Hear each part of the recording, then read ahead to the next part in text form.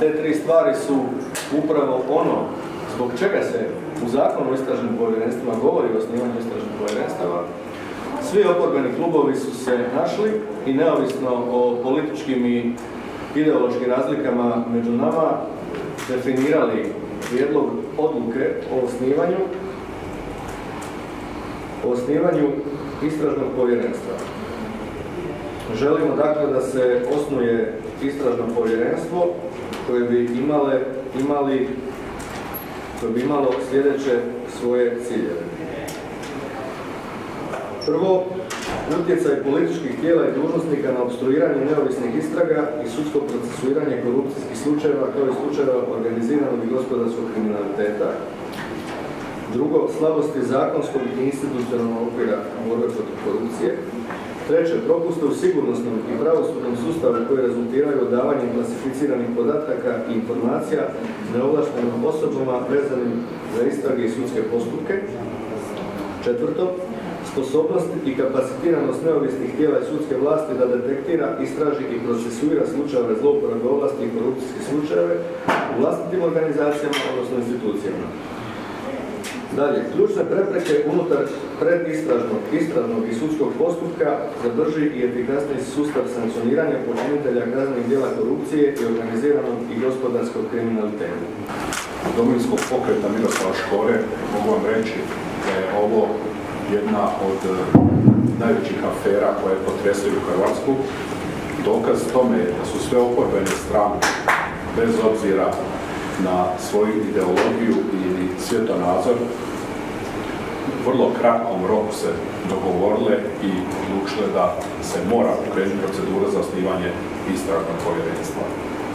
Događanja koja se slijedila, odnosno koja su bila neposredno prije ovih odluka su se dogodili prije svega u Slovenskoj ulici, gdje se pokazalo da Hrvatska država ne funkcionira u Hrvatskom saboru, nego u nekakvoj obskurnoj ulici gdje su dogovarali poslovi, biznisi, ali isto tako i dijeljenje novaca.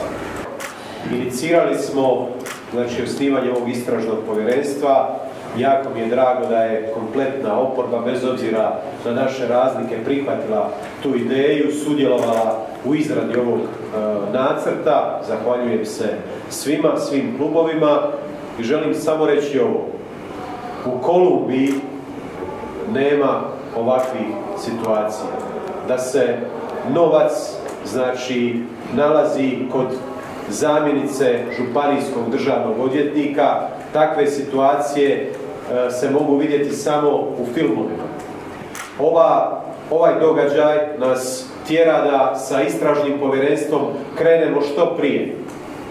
Imamo u ovu aferu uključena tri ministra iz Plenkovićeve vlade, imamo uključena tri gradonačelnika, imamo situaciju da čak i zamjene u ovoj tankoj većini, znači zamjene koje ulaze u Hrvatski sabor umjesto gospodina Barišića, da su i one već pronađene u vezi sa glavnim motorom ove korupcijske afere, a to je gospodin Petek. Imamo situaciju da čovjek koji je na čelu državne tvrtke, znači gospodin Kovačević, koji je jedan od ključnih aktera ove afere, da je nedavno od ove vlade potvrđen na tu čelnu funkciju. Ne trebamo se baviti sa ovim prepucavanjima, ovim teatrom kojim svjedočimo posljednjih dana, nego sa meritumom, a meritum je ovaj o kojem sam sada govorio.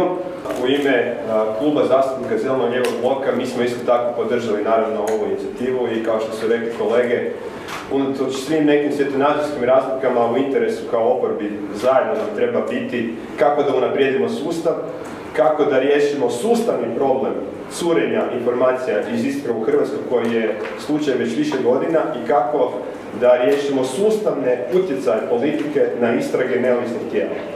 Znači, bez da otvorimo tu kutiju i dođemo do kraja, istražimo stvari do kraja i vidimo kako sustavno stvari ne funkcioniraju, nećemo moći ni kao zakonodavac, kao Hrvatski sabor donositi bolje zakone i kreirati institucionalni okvir na jedan bolji način koji bi to u što većoj mjeri sprečavao. Hrvatski suverenisti potpuno podržavaju ovu inicijativu u svih nelegalnih radnji koje su vezane uz Hrvatsku državu, uz koruptivni sistem ili bilo kako curenje informacija. Kriminal korupcija, gortački kapitalizam vlada Hrvatskom zadnjih 30 godina, a nedavne afere još jednom su ukazali na političku, privatnu i poslovnu povezanost političkih elite koja nam kroje svakodnevne živote. Iste te političke elite odlučuju u institucijama kao što su policija, DORH, SOA i, i sudstvo. Hrvatski suverenisti žele znati koliko su te institucije zapravo neovisne u svom djelovanju, te je li potrebno dodatno zakonski zaštititi kako bi im omogućili da njihovo djelovanje uistinu bude neovisno.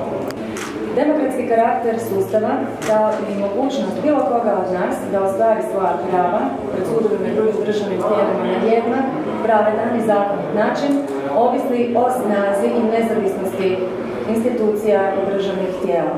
Od stvaranja samostalne neovisne Republike Hrvatske mi nismo izgradili takve institucije. One su do dan danas ostale slabe, postavljene na lošim temeljima, neučinkovite, podkapacitirane prije svega. Stoga podržavamo rad ovog istražnog povjerenstva jer je prije svega usmjeren na otkrivanje anomalija u tom institucionalnom sustavu koje je očito pod patronatom dominantnih političkih struktura, a da ne kažem ponekad i kriminalnih kartela.